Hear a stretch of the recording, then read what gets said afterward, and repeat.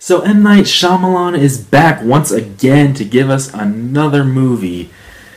The question is, is this a return to form for him? Or is it just another dud in M. Night Shyamalan's collection? Let's talk about it.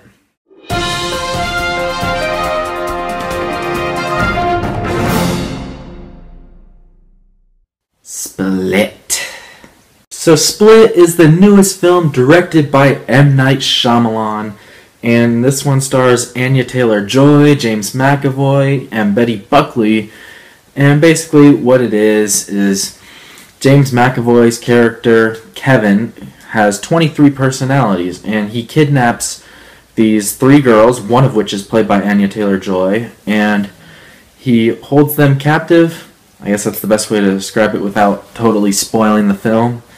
And the three girls, they have to find out how they can escape from this guy before he kills them.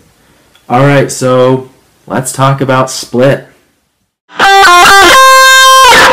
Okay, so M. Night Shyamalan, when it comes to his movies, there's only three that I like. There's The Sixth Sense, there's Unbreakable, and there's Signs. Will Split be the fourth? That I like? Well, I will say this.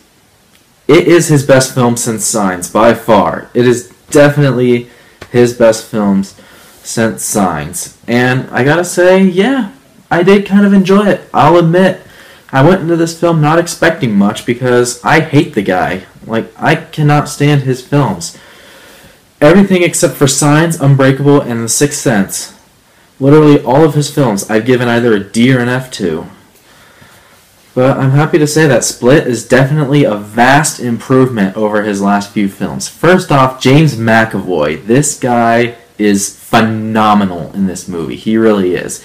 He basically carries the movie from start to finish. And I'm just going to say it right now. If this actually had come out in December of 2016, I'd say maybe consider this guy for an award.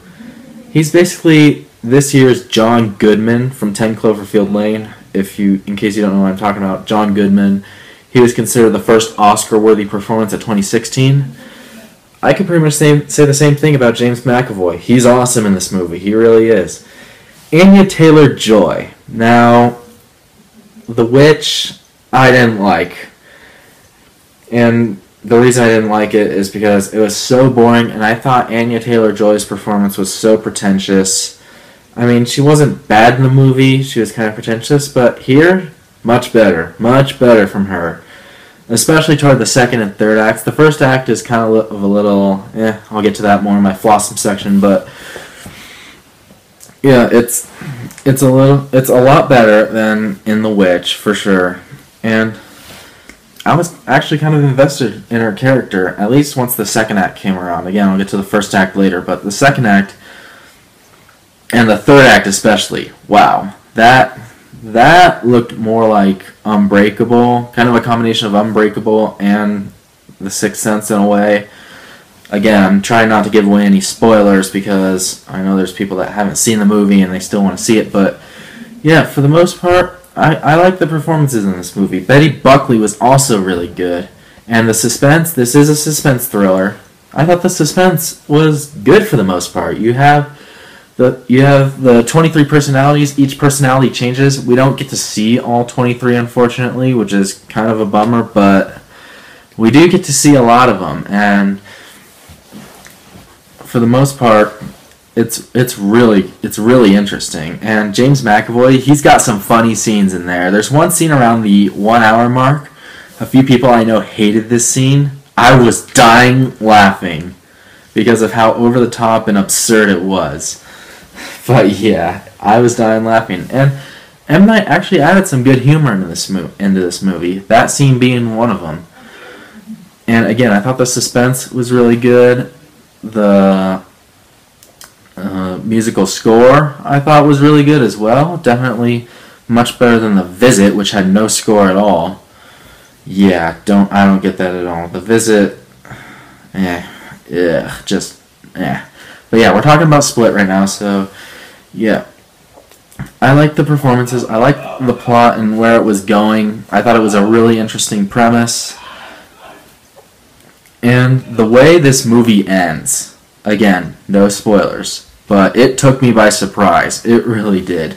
I thought it was a really cool twist. And there are a couple other cool twists in here too. One of which I thought was very predictable, but I'll get to that in my flossums. But the end, the last five minutes of this movie, awesome.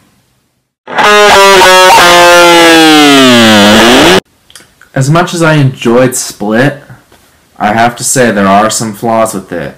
Some really major ones, too. First off, the other two girls, besides Anya Taylor Joy.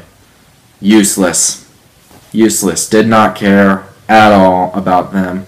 The first act, Anya Taylor Joy's character was kind of kind of sad and depressing as well.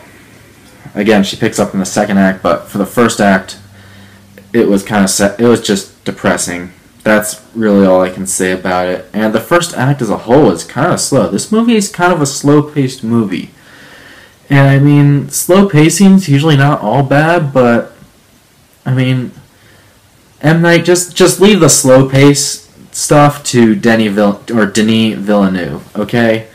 Denis Villeneuve knows how to use slow pacing really well. M Night, you're not quite at that level yet, so just stick to the fast paced stuff like you see in Unbreakable and Signs and The Sixth Sense. But yeah, and again, I did say this was the best movie Shyamalan's made since Signs. Unfortunately, that's not saying a whole lot considering I hated every one of his other films with a passion. But yes. And there were some various plot holes in the movie that I didn't understand. Like these flashbacks. It flashes back several times, and I just didn't get why they were there. Like, why were they in the movie? Why was it necessary? There's one other scene, like about 10 minutes before the one hour mark, where it was like awkward. I was just like, wait, why is that in the movie? This is awkward. But yeah, and like the like toward the end of the third act, there were some things that didn't make a whole lot of sense to me. Again, plot holes. This movie has a lot of them, and it has a lot of cliches as well. There were some things that I saw in the movie 10 Cloverfield Lane that I saw that reappeared in this movie. I was like, okay, come on, let's not get into that territory. And the cinematography, I'm sorry, I didn't like it. I really didn't like it. I thought, like, you see, there are several shots where Anya Taylor Joy's face is like that close to the camera. Not even kidding. And it just got really distracting at some points. So, yeah, not a fan of the cinematography. And again, some things didn't make sense. That's really all I have to say about that. So, as a whole, did I enjoy Split? Yes, I did. I will admit, Split did surprise me. Is it a great movie? No, not really. I think it's kind of it's kind of more in the middle. I guess you could say I'm split on Split. yeah, but overall, I will say it's not quite a full return to form for M. Night Shyamalan, but it is definitely a step up from his other films. Definitely a step up. And Anya Taylor Joy, I think she could be a rising star. She could have a great future ahead of her. So, yeah, while it's not quite a return to form, it's definitely a step up. With that being said, I am going to give Split a 64% fresh rating. I'm just going to get it to fresh. That is a B minus on my scale.